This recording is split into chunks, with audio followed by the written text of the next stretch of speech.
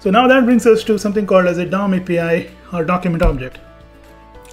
API in general helps programming languages interact with the underlying model. DOM API allows JavaScript to interact with DOM and CSSOM via something called as a document object. So just so you understand, from JavaScript perspective, you can think of document object as shown below.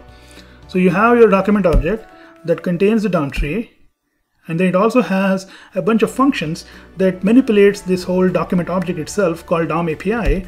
And then you can actually call this DOM API from your JavaScript using document.getElementById, document.getElementTagName, tag name, and so on and so forth APIs.